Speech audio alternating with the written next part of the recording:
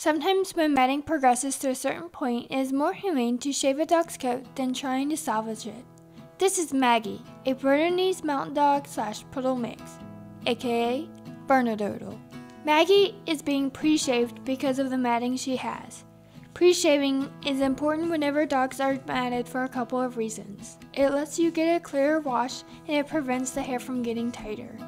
Doodles come in a lot of the time matted, resulting in having to be shaved.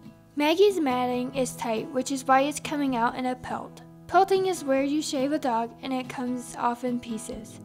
Using both of my hands and working carefully to make sure I don't nick her is very important during the pre-shave process.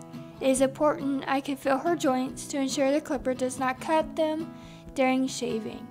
First bred in 2003, Bernedoodles are a cross between two purebred dogs, the Bernese Mountain Dog and Poodle. While they're on the designer breed registry, Bernedoodles are not recognized by the American Kennel Club. However, it is recognized by some other organizations such as the American Canine Hybrid Club. Despite being a designer breed, they unfortunately still do appear in shelters and it is encouraged to adopt before going to a breeder.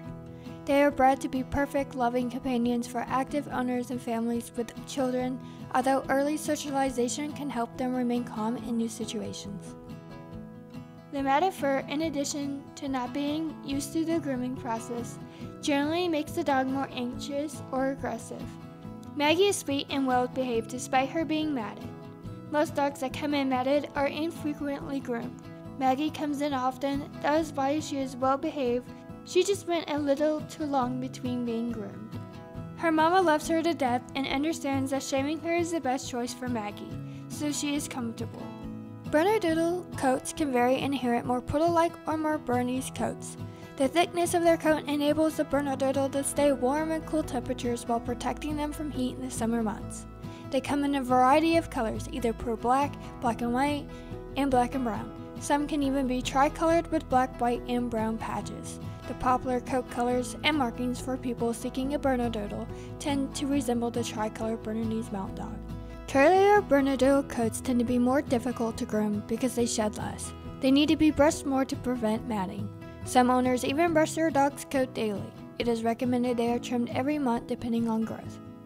Maggie turns around and looks at me like, what the fluff? During the shaving process of a matted dog, it is very common for dogs to get hematomas and have other irritations on the skin like bruising and red spots. Matting can also form hot spots because the skin cannot breathe properly. It is very important for me to pay attention to the blade temperature to not irritate Maggie's skin. Although happy around their family, Bernedoodles can be at first apprehensive, sensitive, and skittish around strangers, and it is important to socialize they are the happiest when spending time with their family, playing and cuddling. I'm gonna need a taller bar for Maggie. Bernedoodles are companion dogs and inherit the intelligence of a poodle and charming, happy-go-lucky temperament of the Bernese Mountain Dog.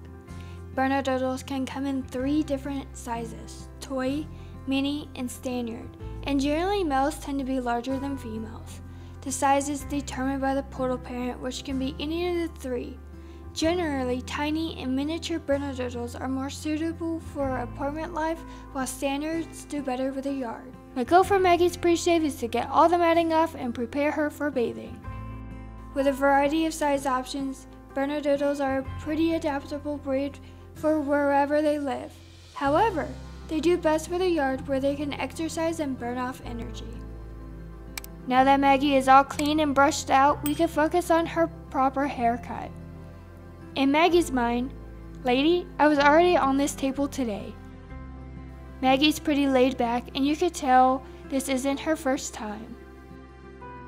Puppies, like with most dogs, they can be stubborn but grow out of this with age. The stubbornness trait is sometimes inherited from the Bernese Mountain Dog, which can make them difficult to train.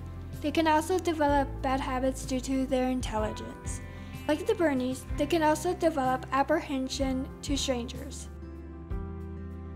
Now we're onto the scissor work and brushing out the face. I did have to take Maggie's cheek hair a little high to get the rest of the matting out due to it being a sensitive area to brush out. I'm still trying to get Maggie the teddy bear slash doodle head look like her mom likes, despite the matting.